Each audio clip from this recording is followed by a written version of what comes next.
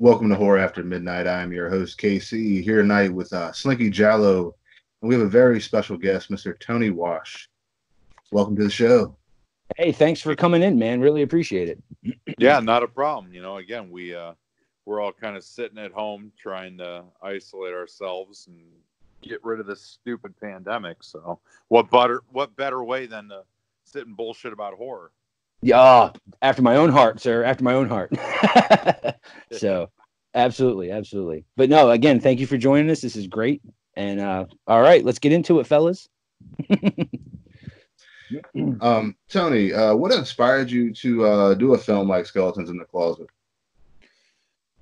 Uh, I, well, Skeletons in the Closet. I mean, you, if, if you watch it, you, you can tell pretty right right out the gate that yeah. it's a, a, an ode to, you know, the older kind of horror host hostess shows, Elvira, um, Tales from the Crypt. You know, yeah. I Paul Bearer stuff like that. Yeah, definitely, definitely. You know, I mean, in Chicago here we have Svengoolie. Um, so you know, I I grew up on that type of stuff when I was younger, before I could start watching the really gory R-rated horror content. Um, I was born in 1980, so you know, growing up in the 80s, there was so much awesome horror stuff. Like Freddy Krueger was almost like Mickey Mouse to a lot of people, and yeah. uh, and so you know, I was a horror fan right out right out of the womb. But and, and my father's a big horror fan too. But my mother wouldn't let me watch certain movies, so I kind of had to be restricted to the black and white stuff.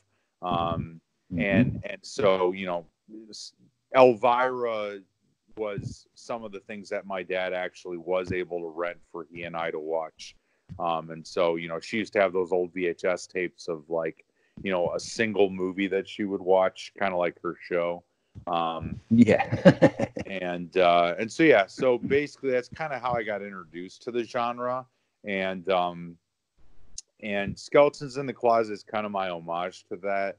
Uh, when I went to college, I was kind of working on some different ideas, both in my creative writing class as well as just kind of on the side independently. I I figured, well, shit, maybe I can like you know write a couple of scripts and have some some time here while I'm at school to shoot a movie, which didn't end up happening. I shot some uh, some short film content, but ultimately the idea for the widow and charlie which are the the host and hostess of the show skeletons in the closet mm-hmm. um, came to me while i was in college and i just thought it seems like a perfect idea to combine, to combine the elvira kind of dynamic with the crypt keeper and make them a married couple kind of like al and peg bundy um, so that's kind of where it came from I love the dynamic with those characters, man. Like it was really cool. It was really funny to, you know, see how they interacted with each other. It was,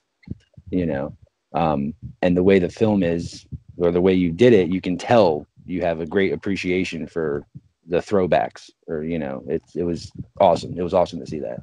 Thanks. So. Yeah. We, um, back in 2012, uh, I had been contacted to be a part of an anthology, uh, where there was going to be four of us um, Chicago area filmmakers that would each produce a short horror film um, with our own time and money and crew, and then we were going to put them all together and make an anthology. You know, this is right after uh, VHS had come out, and a couple of other, you know, Trick or Treat was pretty popular at the time. So um, we we started organizing this project called Chop Shop, and each of us ended up, each of the four directors ended up making a 20 minute short film. Mine was Grandma O'Malley's Pantry, and uh, my co director on Skeletons in the Closet, Ben Lewandowski, his short was The Dismantler, which is the two guys in the junkyard.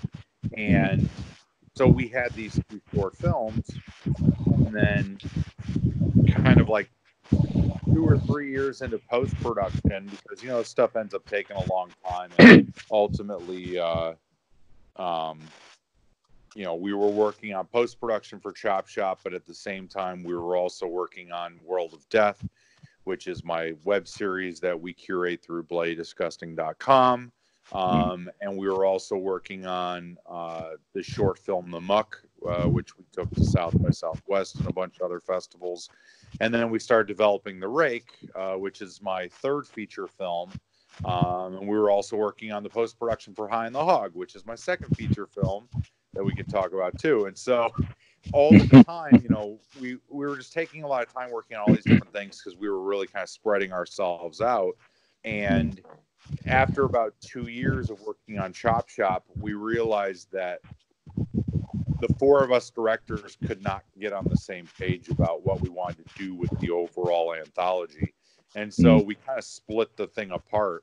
And um, and so the other two of the other directors went took their shorts and just kind of released them as shorts and and I had my short and and I really liked it, but I didn't want to release it as a 20 minute short because at film festivals they don't really like they don't like really long short films and they don't like short feature length movies. You know what I mean? So yeah, okay, okay. It kind of fell in this shitty time duration, and so we had to figure out what we were going to do with them. And so Ben and I were trying to combine them and do something, and eventually I pitched the idea of using the skeletons in the closet as a wraparound for these short films that made up Chop Shop, And uh, I basically said, you know, if we take the widow and Charlie and make them the hosts of this show, and we can add this this extra tier where there's this little girl who's their number one fan watching the show with her babysitter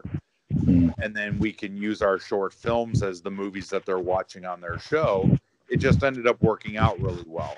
Um, and then just to kind of give us a couple extra minutes of footage we um, we included uh, uh, a friend, Rian Owen. She did a short film called Meisner, which is the actress tied to the chair in the basement, um, mm. which had originally been produced for World of Death. And we talked to her, and she wanted to then include her short film as well. And that kind of became a nice little separation piece between the two longer short films. You know, that's how it all turned out to be what it was. That's awesome. Yeah, yeah, yeah, yeah. put together really well. Yeah, put together really well, man. Like I wanted to ask you, like the actors, the actors and actresses that came on board, were they excited by the idea that it was an anthology and a throwback? Like, were they like, oh, this is great, you know? Um, like, were they fans of horror? That's you know, where, where I'm um, getting at. Well, you know, I mean, it's kind of different in every case. Obviously, I mean, you know, with when yeah. when we produced Grandma O'Malley's Pantry in 2012, um, I I knew I wanted to be an '80s movie. I, am like the biggest '80s horror fan um, that I know, and so I, I knew I wanted to give it that aesthetic. And I take pride in in Scotchworthy Productions movies kind of having a high level of production design, not just uh, a good quality in terms of the the cinematography, which is all thanks to my my co-producer uh, Robert Patrick Stern, who does all of our camera work and everything. Um, mm-hmm.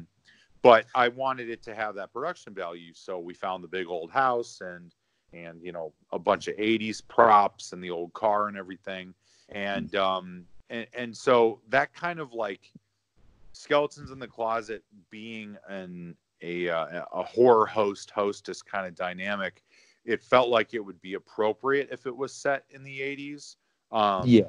And and the little girl laying in front of the old wooden TV console, you know, on the really big ass carpet and and um, all the plants in the room and everything is very 1980s, and so that just it felt appropriate to kind of follow that feel throughout mm. for the entire film. Even though Ben's movie, The Dismantler, really doesn't. It's kind of timeless.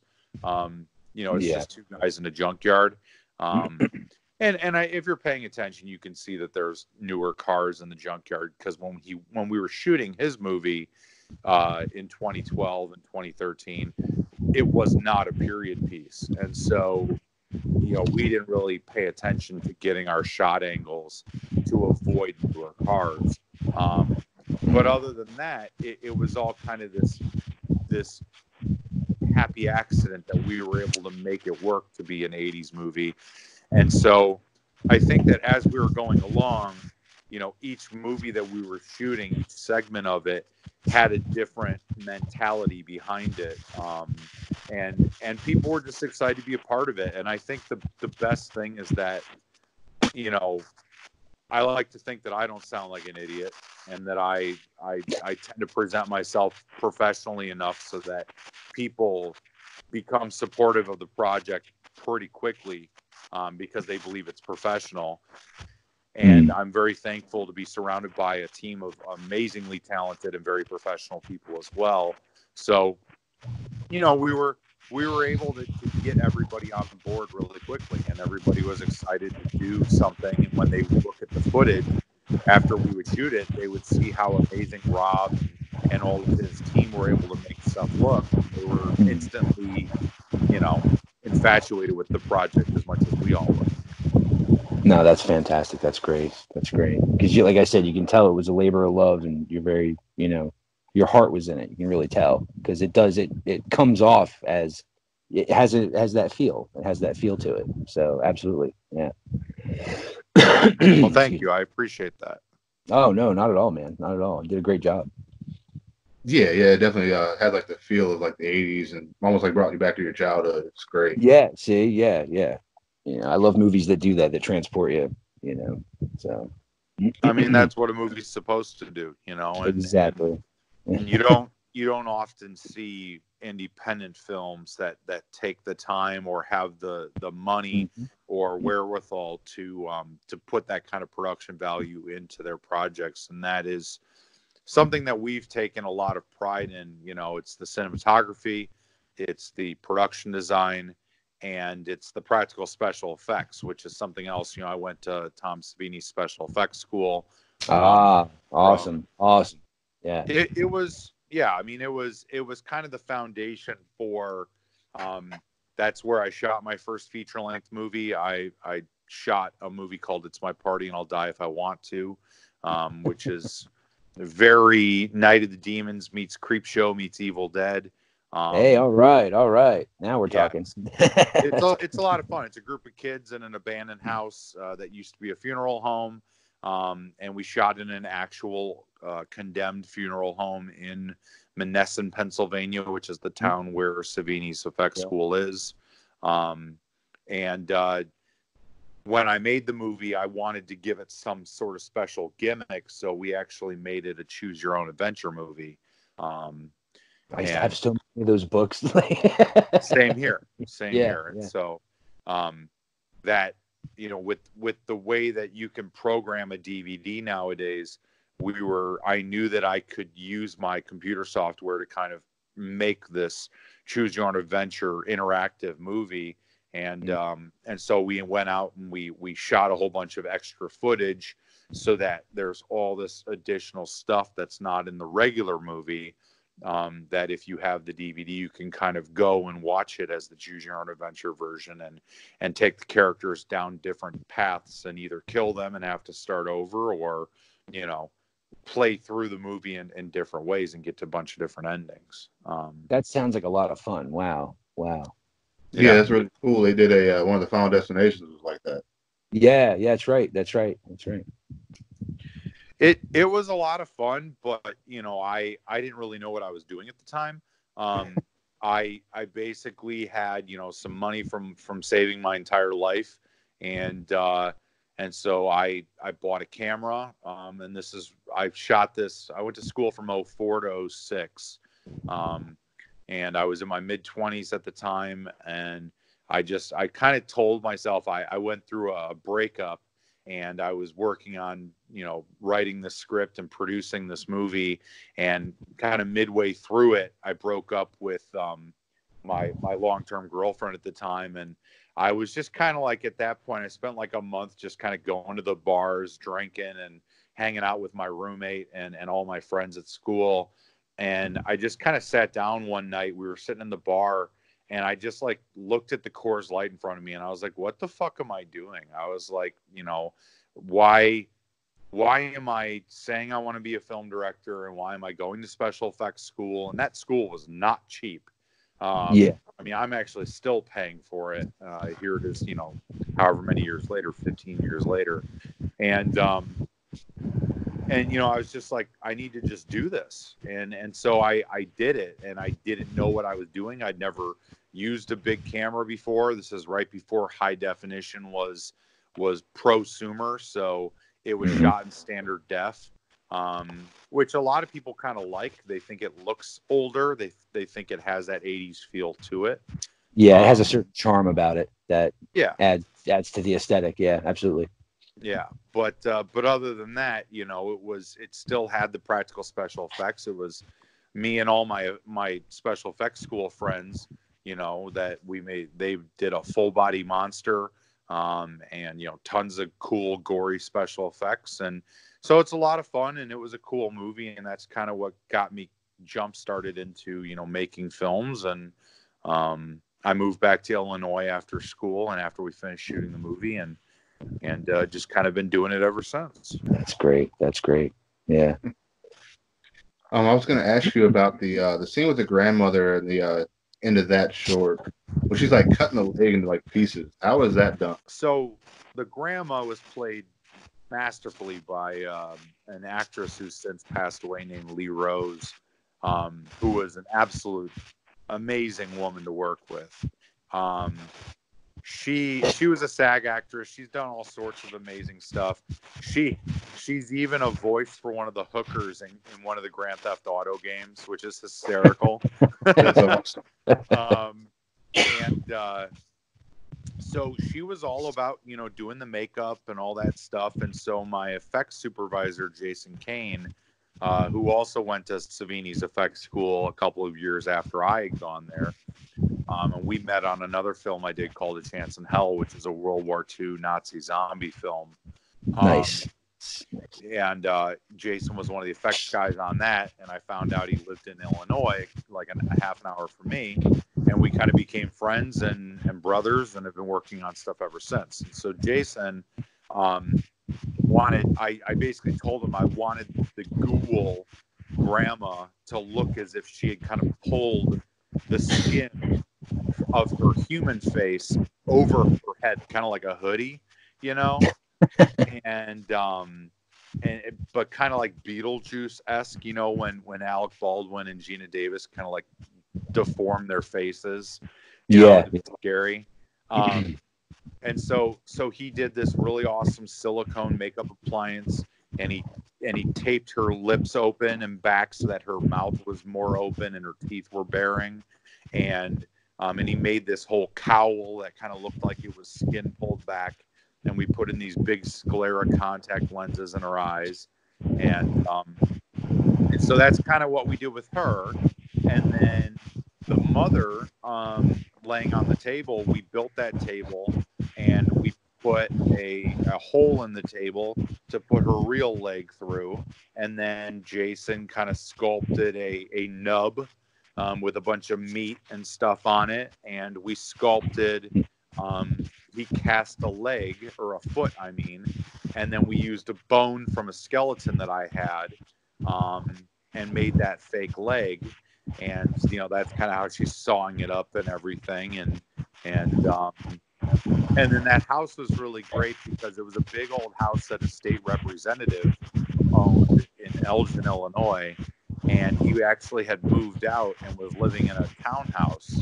And they had it on the market for a long time and nobody was buying it. Um, so it was empty. And we were able to get in there for a couple hundred dollars and shoot for like two weeks. Um, and it had that big basement that was divided into a couple of different rooms. So we were able to kind of have the, the the butcher room in the back of it and the, all the shelves and stuff. And I've been saving olive and cherry jars. I was a bartender for a, for about ten years, and all that time I was saving um, olive jars and cherry jars at, at work, so that because I knew one day I'm going to make this basement, and it's going to have all these jars with body parts in it uh, on these shelves, and and luckily we finally shot the movie because my mother was like so fucking tired of holding on to boxes and boxes of jars because I was keeping them at my mom's house. One I day, just one day, mom. You know, that's funny. That's funny. It just it, it all worked out, and and um, again, I'm just I'm very fortunate. I've I've worked with some really amazing people over the years, and I've been doing it for 15 years now, and um, I'm really proud of all the stuff that we've created. I I wish that more people see it. I I wish that um, you know, and that's why I lo- I love being able to talk to people like you guys. You know, you're you're out there, you know, promoting horror and and talking to people who are your fans, and so hopefully your fans become our fans because um, it's hard nowadays. I mean, as a horror fan, it's great because there's so many movies out there that you can watch, but Yeah. the the tough thing and and this is me as a fan not just as a filmmaker you know i've been a fan my whole life like i said and um it sucks because you know there are so many horror movies out there being made every year that you can get lost in the mix and and a lot Yeah. of the movies really aren't that good there's a lot of shitty horror movies out there oh thank you. Yeah, don't. And we try not to stray our fans wrong when we like do the recommendations and stuff. So it's like um, we're pretty good about because we have a we have a Facebook page and um, we we do recommendations all the time. And it's like we try to pick like you know the the creme de la creme of you know horror, like what's out there. And uh, some people are into it, some people aren't, and it's just like we we try to promote the ones that we love, like that are near and dear to us, and we we just like you said, we try to expose people to the stuff that we enjoy. You know. Yeah. Uh, and you know it's like it some people get lucky you know some people are in the right place at the right time and they meet the right person who helps filter them through the the networks to get out there and become famous i mean you were talking about art the clown earlier and i think terrifier is a perfect example of a uh, of a situation where here's an independent filmmaker who made i mean all hallows eve what, what is his name damien damon I think you're right. It's Damien. Um, I yeah, I think Yeah. it's Damon or Damien. yeah. Um, but so uh, you know, he here he goes and he makes a movie All Hallows Eve, which to me was very similar to It's My Party and I'll Die If I Want to. He probably made it for you know sub twenty thousand dollars and you know put it together with a bunch of his friends and you know it had that low budget feel to it, but it still had some decent production value and and had some cool moments and you know, then went out there and started trying to get together the production for Terrifier, as well as he probably was trying to get other projects going too, and they all fell apart, or you know, one reason or another, he switched over to a different one.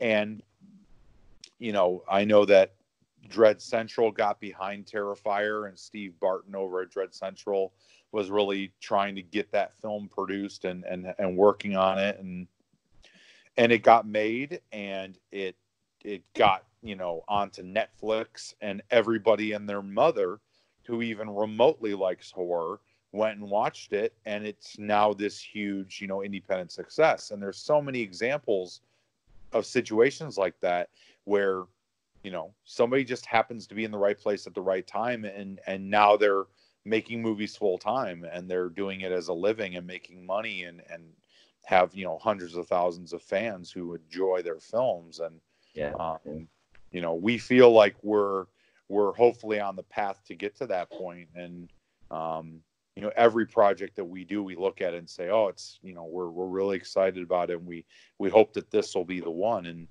you know hopefully one day hopefully the next one is the project that takes us to the to the next level where again you know we've got people coming up to the table at the horror conventions that we go to and are standing there in a line for an hour waiting to get you know copies of our movies and talk to our fans and stuff. Um, it's every filmmaker's dream you know Now, what what when you do a con, what uh, what what's that like to have you know know there's a line of people that are going to wait an hour just to meet you and have you sign like the Blu-ray and stuff? Like how how does that go? well i don't i mean i don't have that i'm Oh, I'm sorry. God, I wish. No, that's I'm saying is I wish I did. I'm far from Oh. that. Um, we we do a lot of the horror conventions. We've done Mad Monster. We we we do a lot of the Days of the Dead. We've done a lot of Horror Hounds. Um, Okay. uh, and and so you know I, I've been doing horror conventions since I released It's My Party and I'll Die If I Want to in 2008. and um, it's great because I have a lot of friends at the conventions, and so you know it's pretty much like you're getting together and have a slumber party, you know, with all your horror Yeah. friends. you get to nerd out with your buddies. Yeah.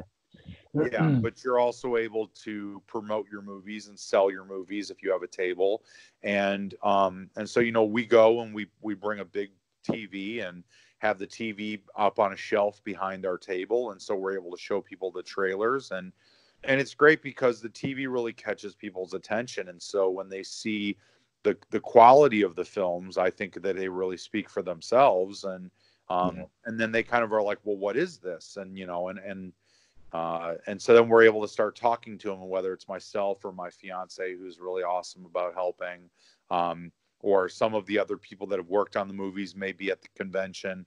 Uh, Char- the guy who plays Charlie, Adam Michaels, is an artist, and he goes to a lot of the conventions. So him and I have been kind of doing them together, where he'll have a table and selling his art next to my table, and we'll kind of promote the stuff together.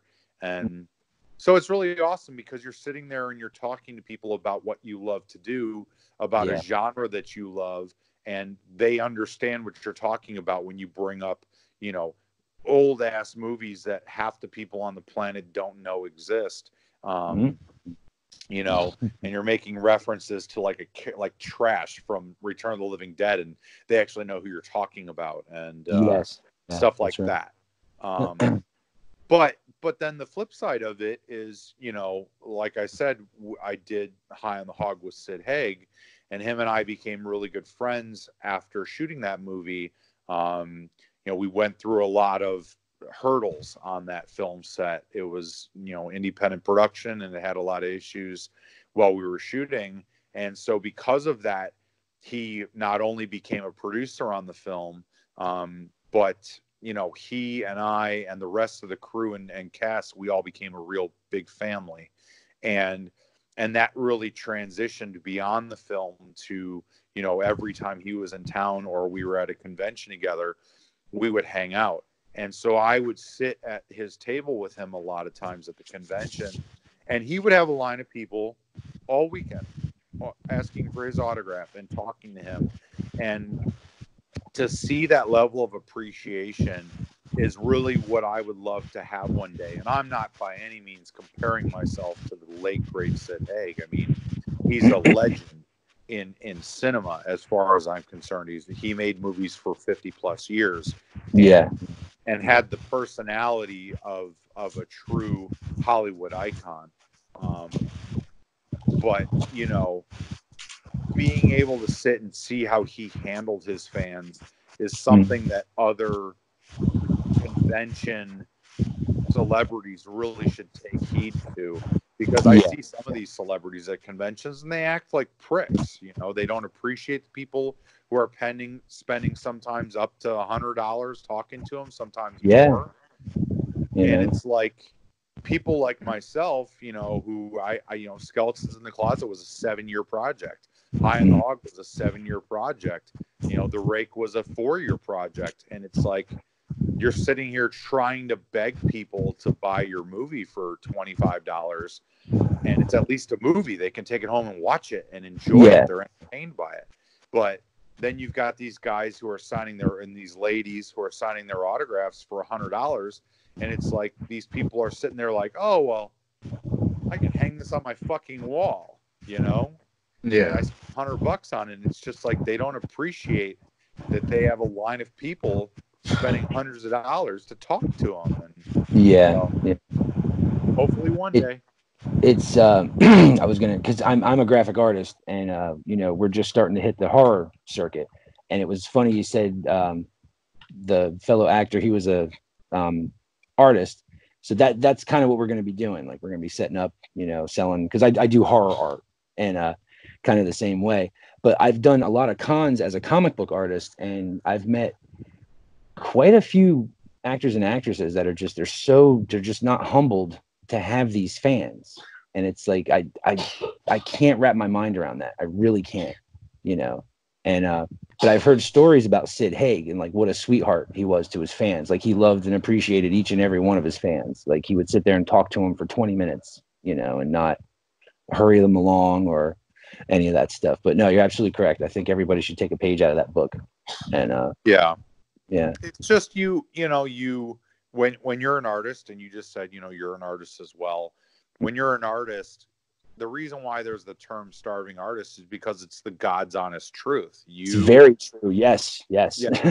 it is. It is very. And and, I were watching a, a, movie last night, and um, coincidentally, and they had uh, it was the accountant that Ben Affleck movie, and and he's got a couple of like paintings.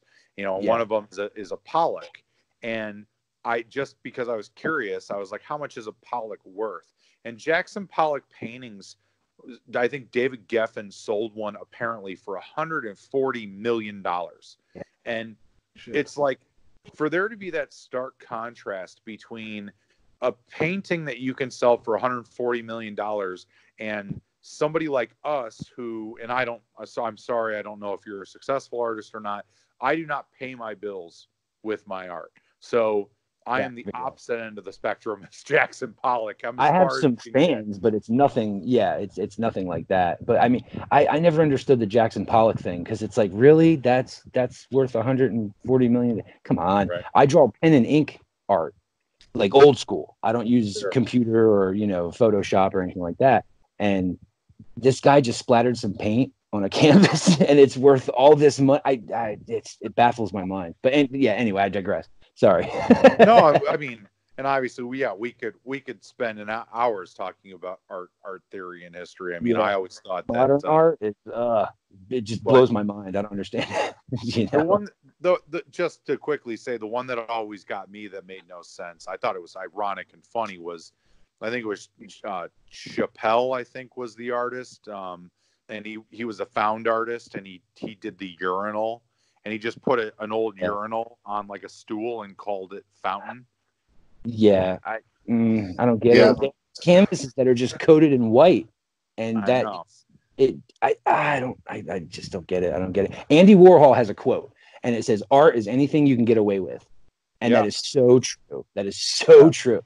You yeah. know, and so and so that's that's just kind of what getting back to our original point. You know, I I often wonder that too is how is it that you can become so far removed from the time when you were a struggling actor or or filmmaker or artist to get to that point where you are now pissed off and and put oh, put back by the fact that you are you are talking to these people that love you for what you create it mm-hmm. just makes no sense to me but i see it all the time at these conventions yeah. and and it's just so disappointing because it's like you know you can if you're famous britney spears can take a shit in a jar and yeah. sell it for a hundred dollars and people will yep. buy it you know they justin bieber had a lock of his hair in a museum in miami and there were people waiting six hours in line to go see this a, a lock of hair what? that's ridiculous no I'm, I'm not even making that up that's a true story like it, that's, that's ridiculous crazy.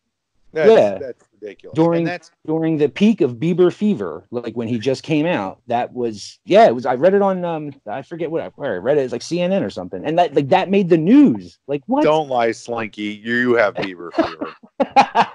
uh, my daughter had Bieber fever, Be- Bieber fever, and I bought so many boxes of those damn trading cards so she could get a piece of his sweater.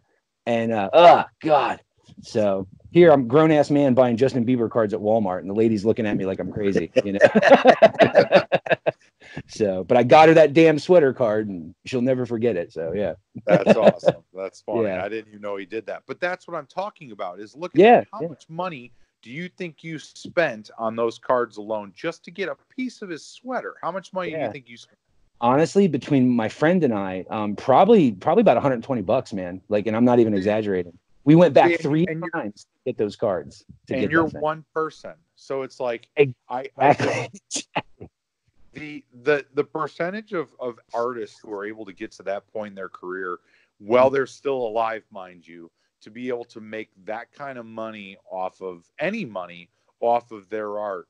It's like I've always said, and I, I swear to God, I swear to my mom, I swear to anybody and everybody who's willing to listen to me swear that if I ever was appreciated to a, a, a, even the, the next degree from where I'm currently at as an artist. I will never lose the humble nature that I believe that I have because it's Yeah. it, it, it, I mean, we, we create because we want to create, but at the end of the day, if you could create and make a living doing it, that is Yeah. the dream, you know? Yeah.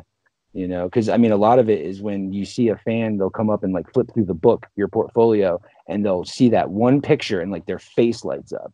And that to me is amazing. I love that. I love seeing that, you know. Um, That's that's you- what's really cool about having a booth next to my friend Adam. Uh, his his name is Adam Michaels, and uh, he does Adam's Art Box. And you know, it, it was really cool because again, not only is he a really good actor, and and you wouldn't even know that Adam is Charlie in Skeletons in the Closet because he's got two feet of hair, flowing blonde hair, you know. But it's like even then, you plus he's also this awesome musician. He's the front man for a, a group called Cowboy Jukebox that's out of Chicago. Um, but then on top of it, he's this amazing pen and ink artist. And people will come up to his table and they'll flip through his books and, you know, there will be somebody who loves Harry Potter or somebody who loves Marvel comics or somebody who Yeah. loves, you know, um, craft or uh, Mhm. or Evil Dead, and and they see it or Pennywise, and they see the drawing that they love, and they just they instantly are like infatuated not only with the art but with him as well, and then Yeah. his personality reels them in, in even more, and it's it's just really awesome to see the appreciation from fans of of you know all that hard work. I would imagine that you know since you said you're going to start doing these conventions, and, and I want you to, I'd love for you to send me some links to check out your stuff when we get off the podcast here. Um, oh, I that- imagine yeah, that- that'd be great. you know, I, I imagine you would do very well with your art as well because the horror audience really, you know, the horror fan base is so dedicated to the fan base that it's like, Mhm. You know, it's so easy to sell horror fans horror content because they love, we all Yeah. eat it up, you know? Yeah, voraciously, voraciously. Yes. Yes. And, Oh, yeah. and so when you find or you know see something that it, it speaks to you, or you know, wow, this is you know a great piece. Uh, it's you're right. They start talking to you and they want to find out more and they want to get as much information. And then they start asking you, oh, well, have you ever drawn this? Or hey, you know, would you ever think of doing this? And yeah, it just it starts, you know, goes and yeah, goes on its own. You know, but Exactly. um, but I'm very humble when it comes to that stuff. I'm insanely humble. Like you know, and, and every, all the years I did the cons, everybody come up to my table and I, I engage everyone, you know, and I thank them several times, you know, when they when they purchase my art. So So But you yeah. said that you were planning on starting to do some conventions here to sell your horror stuff. What do you have any on the on the list currently that you're planning on hitting up? Gross Fest, um, that's in July. Oh That's a- yeah, yeah, I love Um, Tim. yeah. No, Tim Gross is awesome. He's he's a great guy. Um, Yeah. so we're that's that's our first one. That's our very first one that we're gonna do. We can't wait. Horror After Midnight, aka Slinky's Liquor Pawn and Video. That's the channel name. Yeah, I um, love it. I love it. Everybody By likes far the my name of the favorite channel. podcast name. That's good. Thank you so much, man. Because I mean, we we were trying to do like a horror, you know, because our love of horror, so we wanted to do a horror show. But the, with with the name Slinky's Liquor Pawn and Video, nobody associates it with horror. They, you know, it's just you know. Um, but the concept was that we were in the back room at this shady pawn shop in the sketchy part of town talking about horror movies, and so far everybody says they love the shit out of that name. Like they say that name's great, you know, and uh so yeah, we're, we're you know we're gonna run with it, man. So we'll have our little t-shirts and you know hoodies and stuff. Um, but yeah, just it's it's everybody's been real gracious and acceptive so far. So it's it's couldn't be better, man. Couldn't be better. You know. I will. We're we're debating heading out there for Gross Fest in July, so I I may see you guys. We may be able. Oh, that would be great. yeah. That would be great. Yeah, Yeah. yeah, That'd be awesome. yeah. Because I mean, saw we're gonna... Guy, I'm sorry. I'm getting excited. Oh no, no, no, it's okay. I'm, since I'm not, I'm since I'm I'm I'm hiding from the video here. I uh, it's hard to see when I'm planning on talking, so I'm sorry. But uh, yeah, we we ran into Tim at Cinema Wasteland, and Tim and I have known each other for over a decade at this point. Mm. Tim, he he has a he still loves. He has a quote. One of his quotes is on the cover for A Chance in Hell because he said it was one of the best short. It was in his top five favorite short uh, horror films from 2012 um, when it came out. And um, so he and I have been friends ever since It's My Party came out.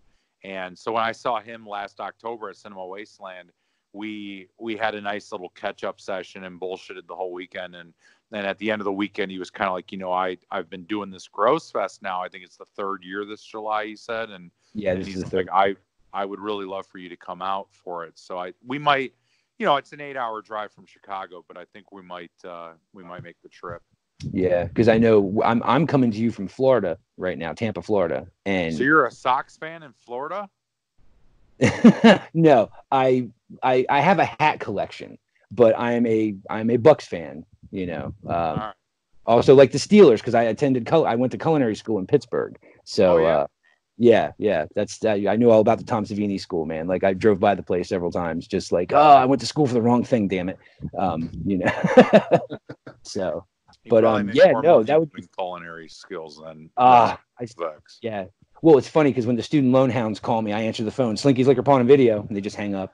Yeah, it always works.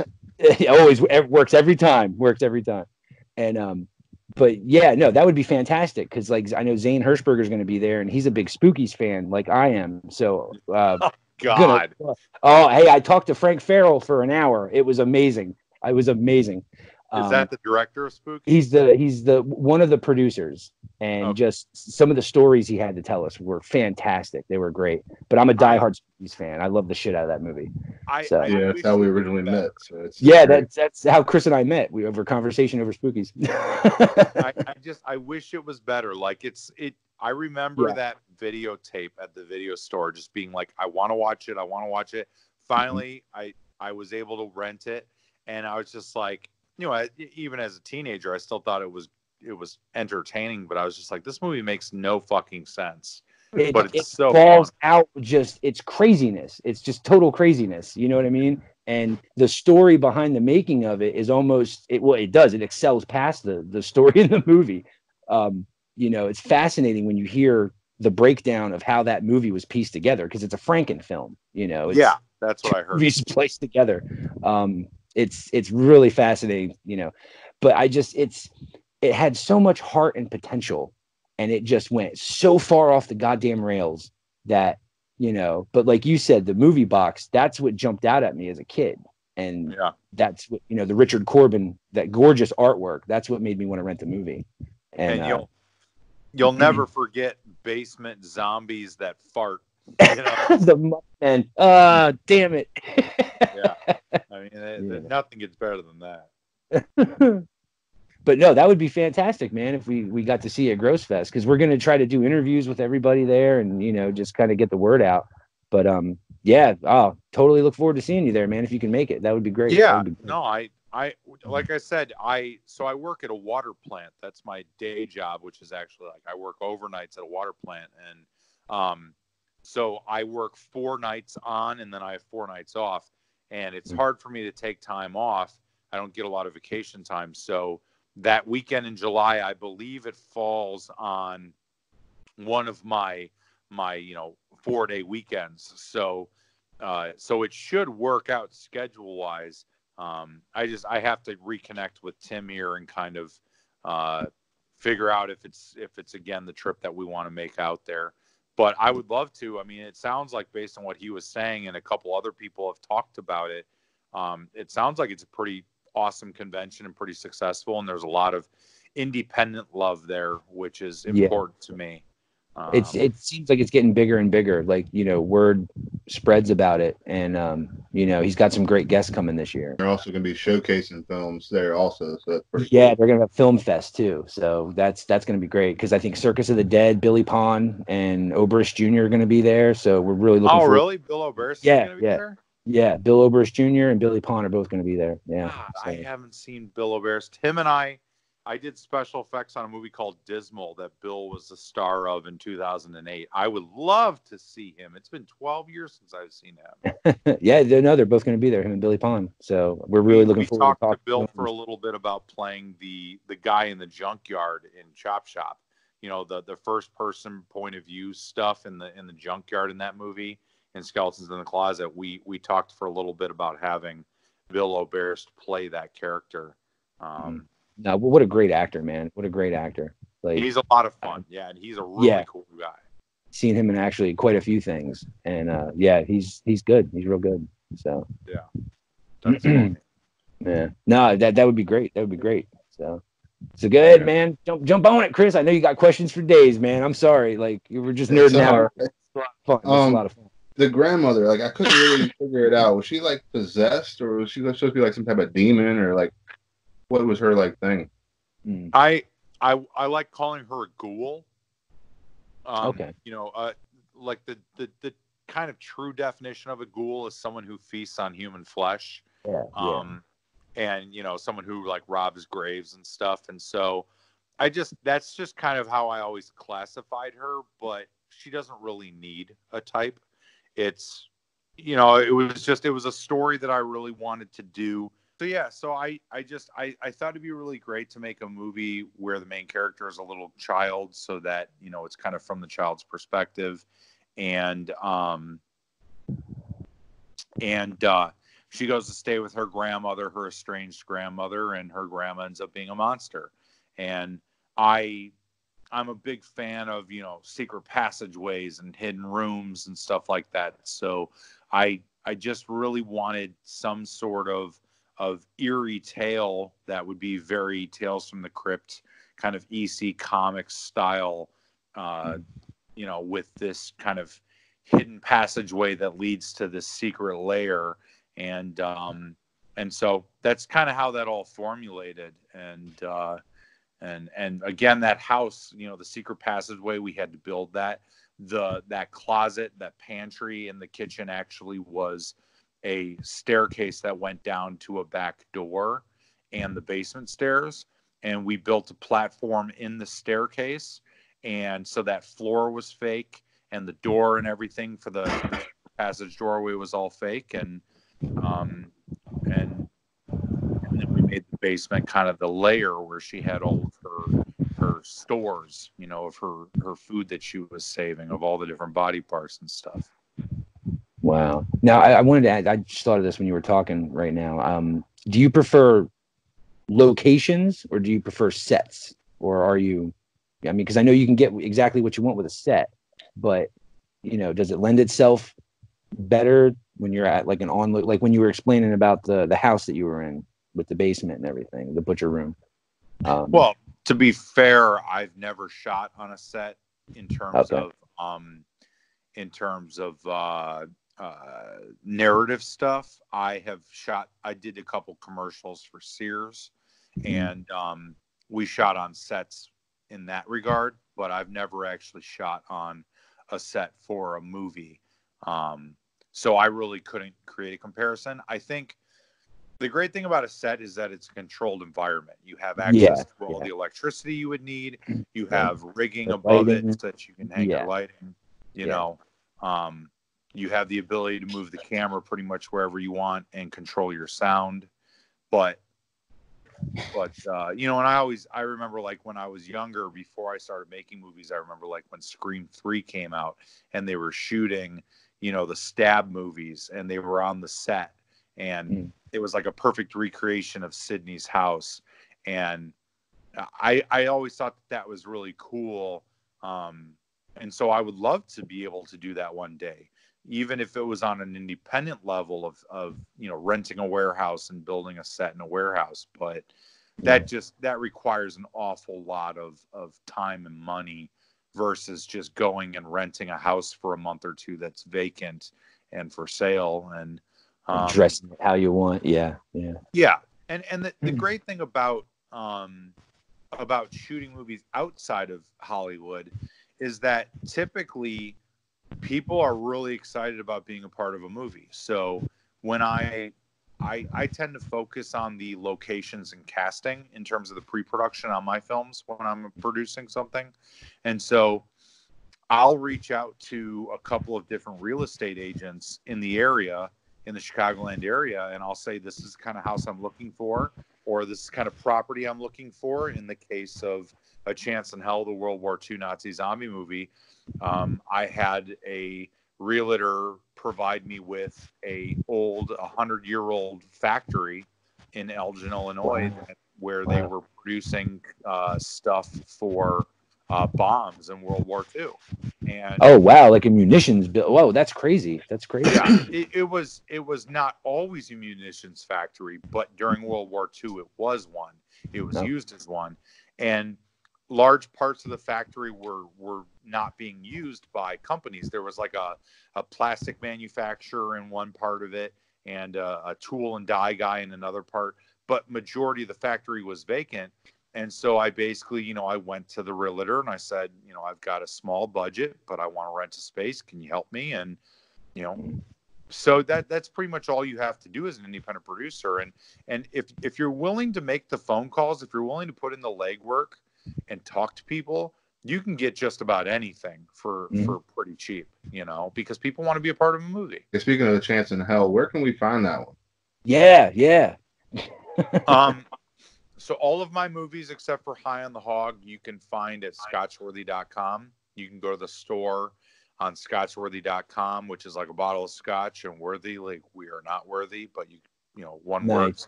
scotchworthy Nice. um, and uh, um, you can so you can pick up physical copies of everything there, um, which I highly recommend and would appreciate because that's obviously how you know we get our support is by people you know picking up copies of the physical media. And I'll if I want if you want I'll autograph it. I'll send it out quickly.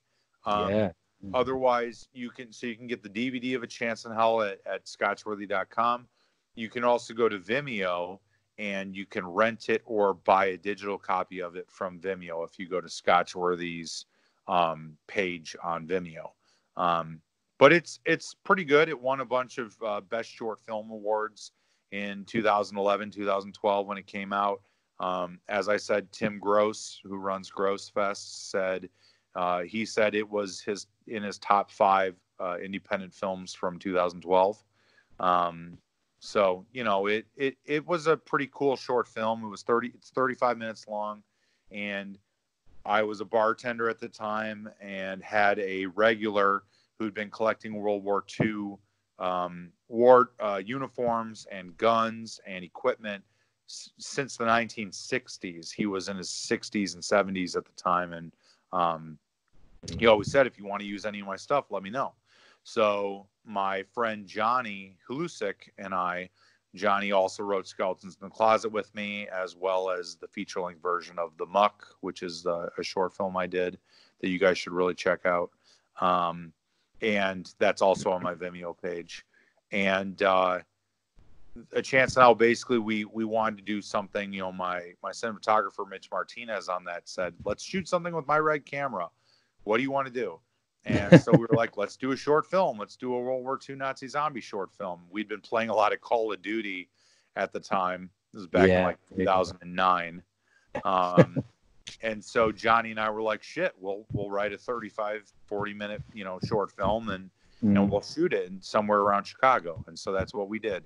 And um, so it's pretty cool. It's a lot of fun. It's nonstop action. The entire 35 minutes is just American soldiers being chased through a factory, uh, secret Nazi facility by these creatures that a um, that that Herr Bucher has created from experimenting on concentration camp victims, and um, and this is you know this was made long before uh, Dead Snow and Frankenstein Yeah, yeah. and any of those movies. This was the the first Nazi zombie film that was out there, and um, it was a lot of fun.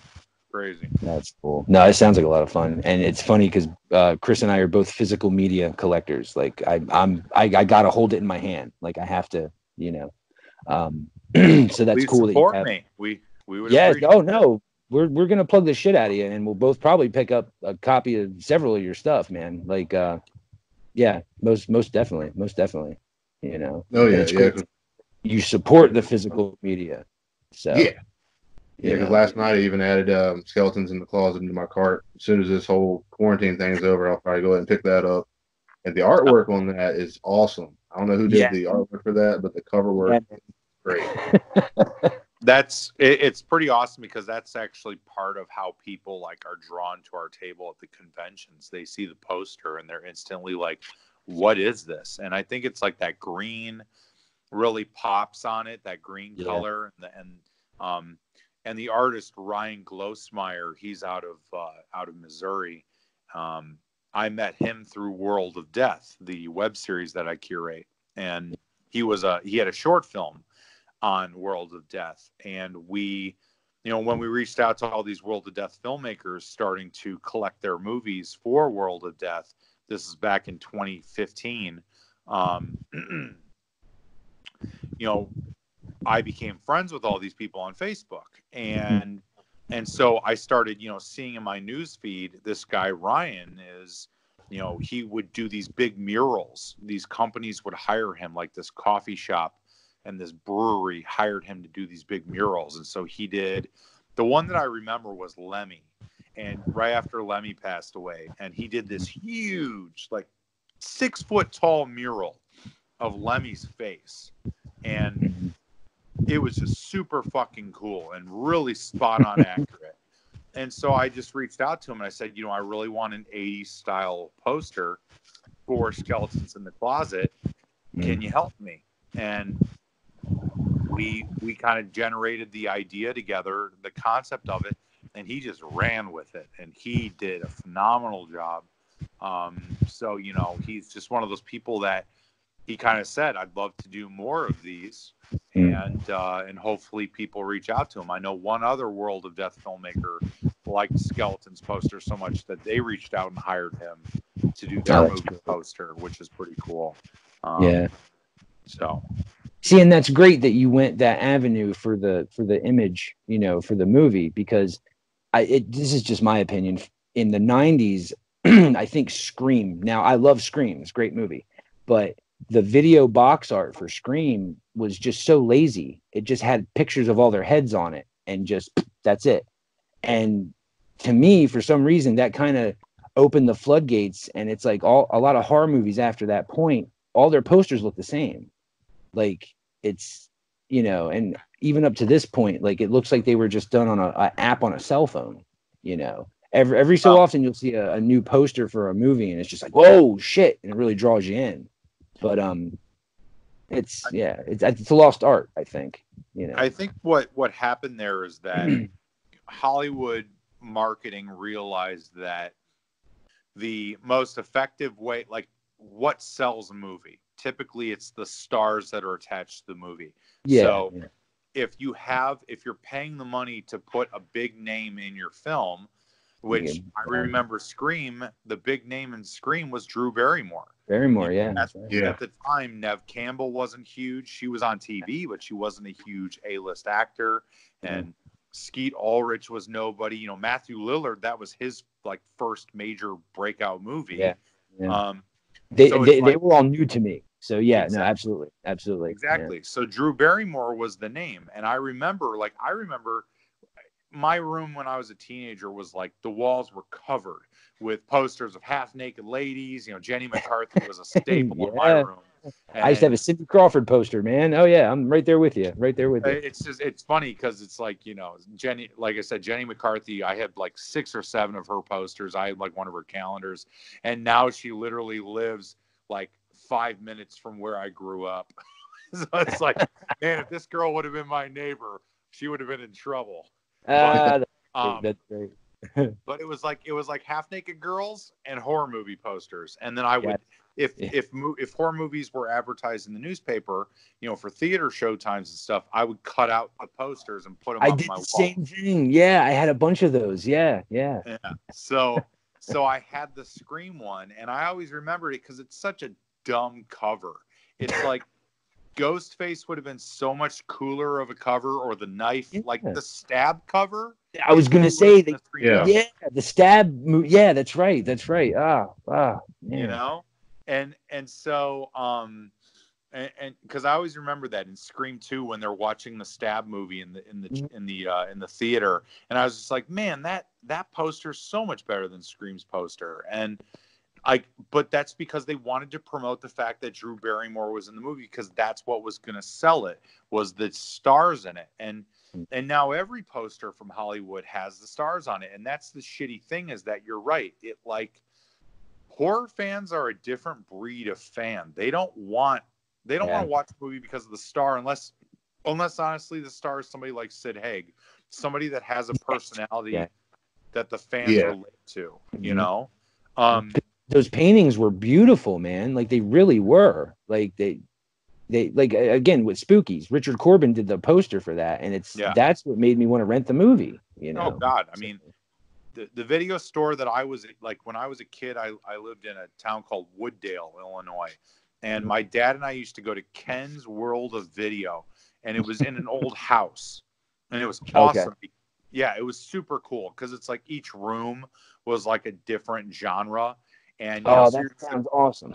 oh dude it was, it was so cool and so like the the the checkout counter was in the hallway you know between all the rooms and like the staircase and and i re- i will never forget the poster hanging on the front of the counter where the cash register was was return of the living dead Oh, that's great. That's great. What a great poster. Ah, know. that that poster um, pretty much in and of itself made me a horror fan you know Yeah, yeah.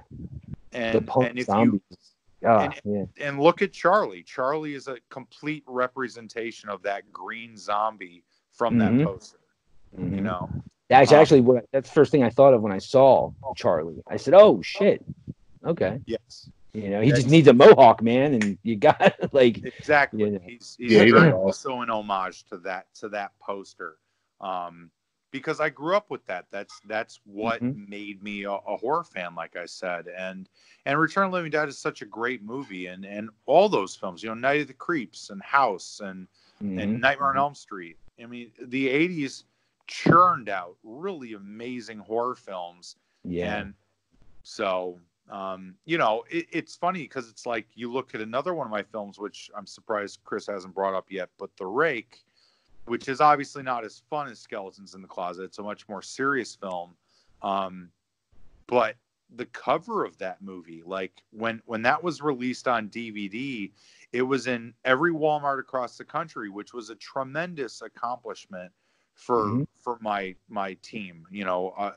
we were all so proud of that fact.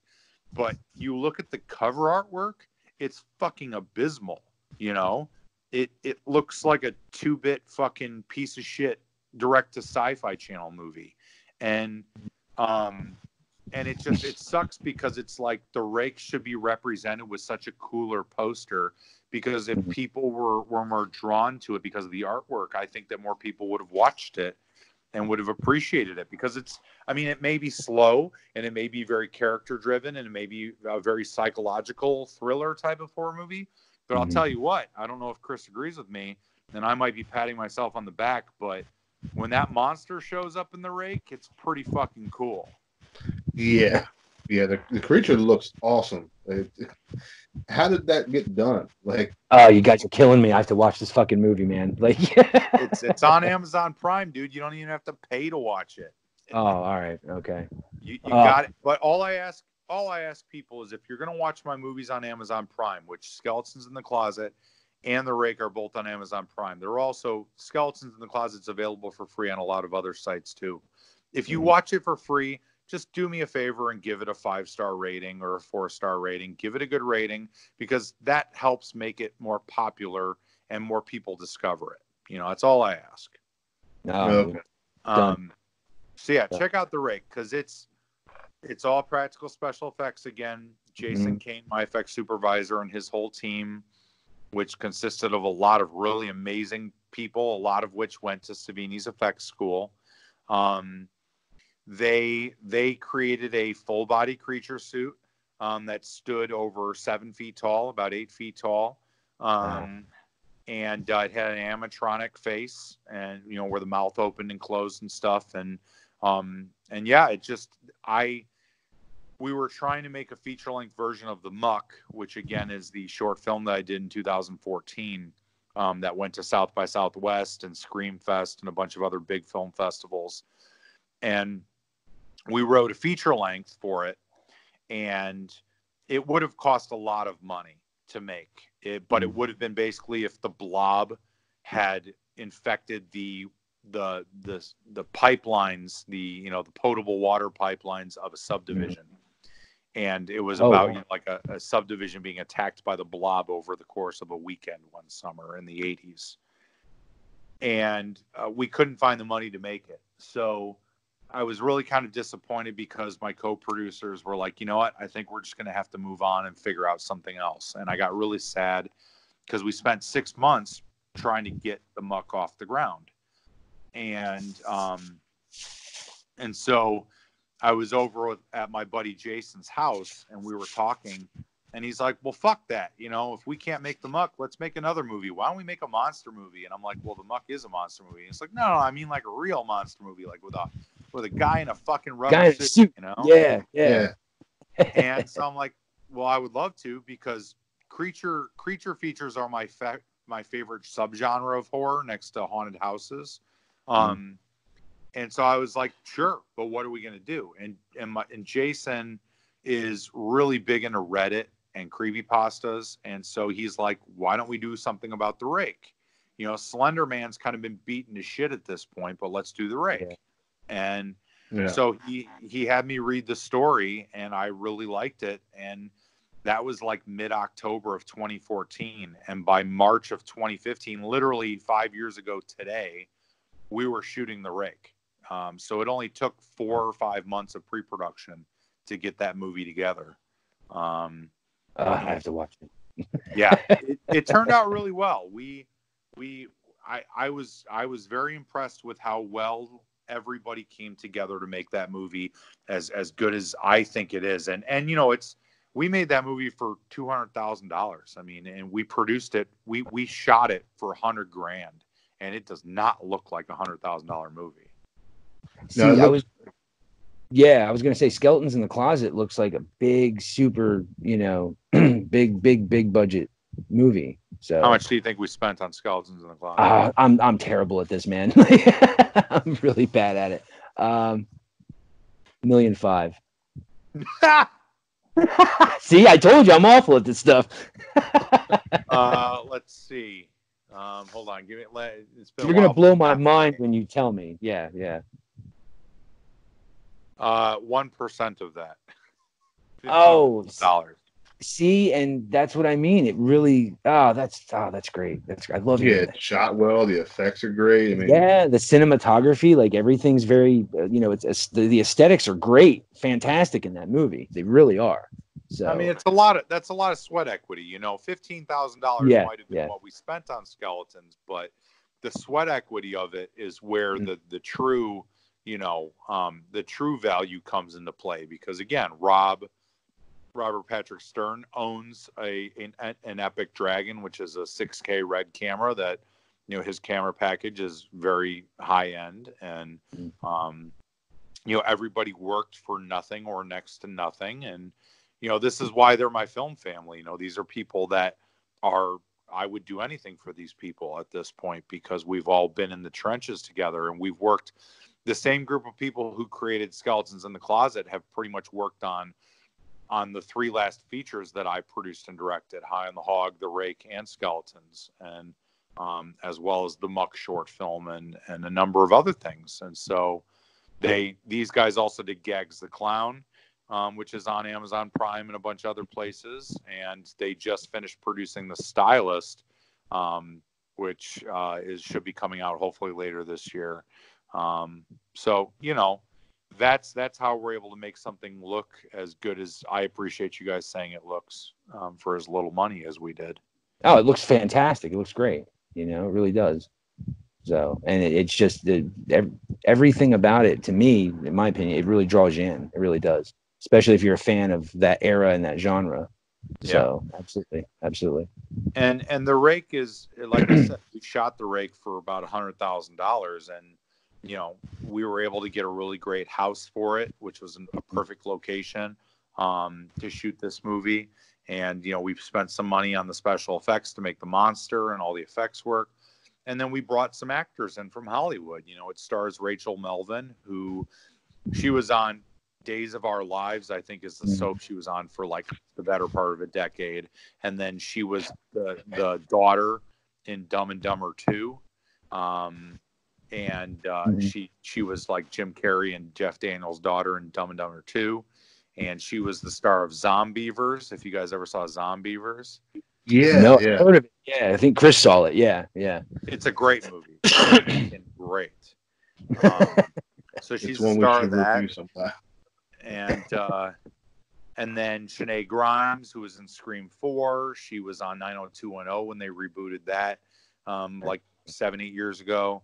Um, she's done a bunch of different things. You know, Joe Nunez is in it, who was in Superbad and all the Judd Apatow movies, and um, and then Isabella Miko, who was in Coyote Ugly, Clash of the Titans, and so you know we were able to get some some Hollywood talent involved You had some names in it. Yeah, yeah. yeah. And, Yeah. and the production value again, you know, Rob and his team and, and the production design team helmed by Sarah Sharp, um, who's been one of my constant collaborators as well. You know, everybody just really stepped up their game to make that movie as, as great as, as we could. And um, so, you know, I definitely recommend you check it out, Slinky, if you haven't seen it yet. Oh, I'm there, man. I'm there. I'm, you know, I it, I can't get enough of horror movies, especially horror movies again from the '80s or you know throwbacks stuff like that. But no, I'm all about the rake because I love monster movies like Pumpkinhead. I love the shit out of stuff like that. It's so, yeah. yeah, it's it it looks like an 80s movie, but it doesn't feel like an 80s movie because like Pumpkinhead is is a great example because that's essentially what I wanted to do with with the rake. But to me, as much as I want to love Pumpkinhead, I just don't because the movie, like the story itself, I think the backstory of Pumpkinhead's cool as shit, but I just don't think the movie's very good. Um, Right. I just think that the monster's cool as fuck. yeah, he's badass looking, man. You know. Yeah, yeah. so like the rake is more like it's it's got the psychological thriller kind of it's got the pacing of of a movie um like dead calm or Oh, okay. instinct or I love silence Dead- of lambs yeah, yeah. but All right. but i compare the rake to candyman or freddy krueger if they were like a monster if they were like a werewolf instead of a human Yeah, I can see that. Yeah. All right, I'm sold. I'm sold. So I'll probably watch that fucker tonight. Straight up. might as well you're on lockdown yeah, can't. Well, we can go somewhere, but eh, cops will fuck with you. So Well, you, you could always binge Tiger King. So I I need to watch this because everybody tells me it's like Florida Man on crack.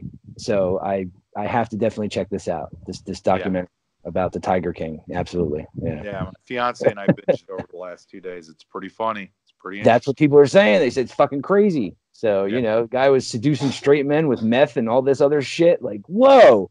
So Mhm. Well, I need to check that out. yeah, dude, you gotta know what you're getting into if you ever come down to Florida, buddy. Well, he's actually the Tiger King was actually in Oklahoma, but he his nemesis is in Florida. Her name is Carole Baskin or something. like Yeah, yeah. They did like I guess a murder for hire plot, Yeah. and um, yes, Yeah. come to find out, he's he's incarcerated in prison, and he's trying to sue Netflix for like ninety million dollars because of this documentary. You know, good luck with that, bro. But yeah, go. I'm sorry, guys. I'm sorry. You know. Oh, you're fine. Yeah, I don't want to ruin the movie for you, Slinky, but um, I just All wanted right, to hold ask on, hold you. on. uh, Let me take my earbud out. Go ahead and ask him. So hold on, because I'm I'm gonna watch this fucking movie, man. Like I'm sold. all right. I did want to ask about the uh, the bloody the bloody baby in the basement of the rake. It looked like really really cool. Okay, so so what about it? What about the baby? Like, what made you like want to throw in a baby? Like, it's so Um, like it's not done often. the whole point is that um the whole point is that that these children ben and ashley their entire lives have been infected by the rake and the rake is a pestilence you know and, and we kind of took our own liberties with the the creepypasta urban legend of the rake but the way we took the the character of the rake is that it is a pestilence. It's like candyman where it can appear and disappear and interact with our dimension but it's not necessarily adhering to our dimension. Um but so it, it like infects your mind and once it infects you then it continues to spread pestilence to everything around you whether it's people or things. If you notice at the end of the movie all the plants in the house are dead and you know the fruit in the kitchen has rotted because it sucks the life out of everything. And and that's why her husband starts to go crazy very jack torrance of the shining. Um throughout the movie because it's sucking his positivity and his sanity and everything. And uh, and so that's how it is with Ashley, which is played. She's played wonderfully by Shenae Grimes Beech. Um, you know, she as a little girl saw this monster kill her parents, um, which unfortunately was not really put in the cut of the of the movie that you saw. Um, that kind of was edited out against my wishes, but Yeah. um, but so she grows up along with her brother Ben, and they kind of have this, you know, the rake has infected them. And her brother is kind of dulling the rake's influence by taking a lot of medication and has a wife who has helped him kind of get past it. Um, but Ashley hasn't been able to cope with it as well. And so she, you know, has been in and out of institutions and on medications and stuff. And at one point, she gets pregnant, and the rake, which has infected her mind, has essentially told her that the baby is is the rake's. And what the rake does is it wants the whole reason why it comes around again, which again isn't explained very well in the movie because the cut of the movie doesn't really explain it as well as the footage that's left on the cutting room floor does is that Rachel Melvin is pregnant and and the rake senses the baby growing within her and it wants it because as every every satanist knows children's fucking a child's soul is the sweetest there is or you know what i mean like Yeah, like the most purest. how yeah it's the purest and so the rake feeds off of that and so that innocence and that positivity and that happiness and that love and that affection all of that is what the rake feeds off of and so it grows stronger when it discovers that that rachel melvin is pregnant and so that's kind of where Shenae the whole time is like, you know, I had to kill my baby. I had to save it from the rake. And so she aborted the baby. And that's what that nightmare represents is is that the you know it's not just her baby. If you look at the fetus it looks like a combination between a human fetus and the rake. Um so Yeah, yeah, it looks great. thanks. Yeah it's again it's jason kane. He he sculpted that. And um i don't remember if he sculpted that or if, if either tom cassidy or reed Cesar did but we had Yeah. Or maybe you know it might have been one of the other guys. There was, you know, there was a number of, of artists on the rake: Corey Ruby, Aaliyah Kraft, um, Brandon Murphy. You guys done? okay. Yeah, I think so. I think took my earpiece out because I was like, no, you know, no, dude, this has been great. This has been great. Like, a lot of fun. A lot of fun talking. I appreciate you guys taking the time to talk to me about my stuff. No, no, the pleasure was all ours, man. Absolutely. You know, and want to thank you for your time for coming on here and hanging out with us. You know, Definitely. a lot of fun. Um, a lot of You want to go ahead and like uh, plug anything you got coming up or anything at all? Floor is yours. Now's the time. Absolutely. No, I mean I got I got nothing in production right now. You know, we're just kind of waiting out this coronavirus storm and and Mhm. you know writing. That's that's what's been going on mostly lately and developing the new stuff. Um otherwise it's just kind of going to the conventions and promoting all of our stuff and selling merchandise.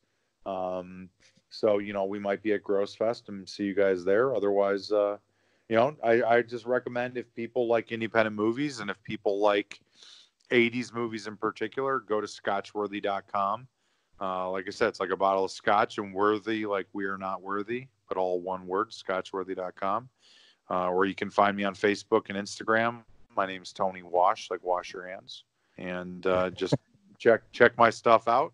Um, you know, my friends and I, we love horror and we make some pretty cool movies, I think. So we would appreciate the support.